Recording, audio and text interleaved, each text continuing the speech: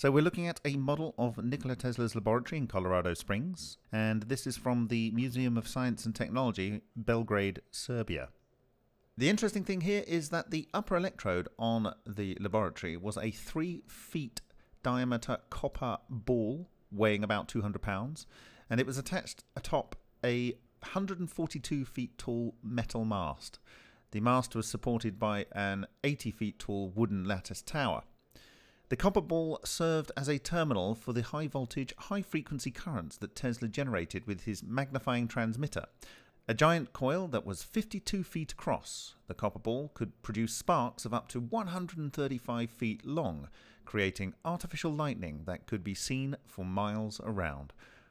The copper ball also acted as a capacitor, accumulating static electricity and releasing it in powerful bursts.